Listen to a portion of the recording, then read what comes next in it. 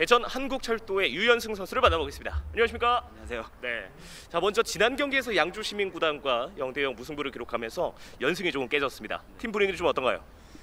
어, 3연승 최근에 이어오면서 팀 분위기가 굉장히 좋았는데 조금 아쉬운 부분이 있지만 그래도 팀 뭐 진 건 아니니까 뭐 우패도 이어가고 있고 오늘 경기 승리할 수 있게 저번 주 분위기 좋게 잘 훈련 준비했고 오늘 경기에서 또 그런 부분이 나온다면은 또 우패 계속 이어갈 수 있을 것 같아요. 네.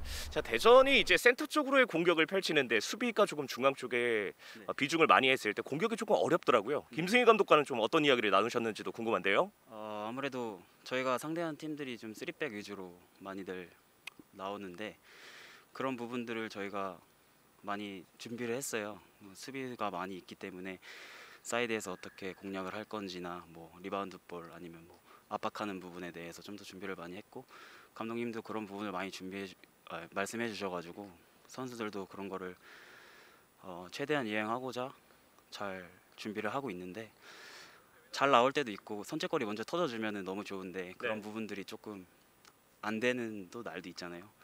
그래가지고 조금 아쉬웠던 경기인 것 같아요.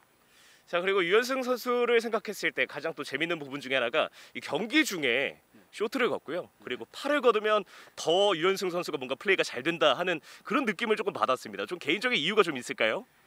아 뭐 딱히 뭐 잘 돼서 뭐 그렇게 행동을 하는 건 아니고 어렸을 때부터 부모님도 항상 말씀하셨어요. 좀 그런 행동도 좀 하지 마라. 근데 땀이 나고 하다 보면은 좀 쇼트도 많이 달라붙고 내려가다 보니까 답답함을 좀 많이 느끼더라고요. 그래서 어릴 때부터 항상 걷고 플레이를 했고 또 마침 경기가 잘 됐을 때 또 그런 부분들이 있으면 좀 더 신경 써서 아 후반전에 안 되면 좀 더 올려볼까 뭐 이런 생각도 하고 플레이를 하곤 해요. 알겠습니다. 그리고 이제 코로나19가 또 K3 리그를 조금 더 위협을 하면서 유연승 선수도 개인적으로 또 많은 생각을 하고 있을 것 같습니다. 좀 어떤 생각을 좀 하시고 계신가요?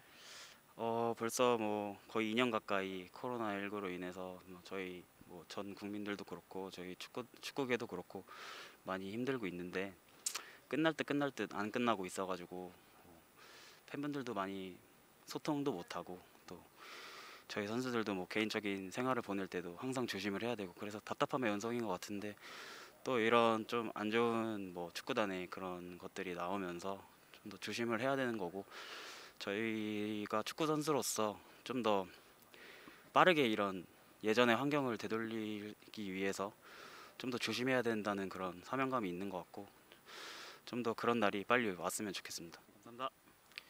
대전한국철도의 유연승 선수를 만나봤습니다.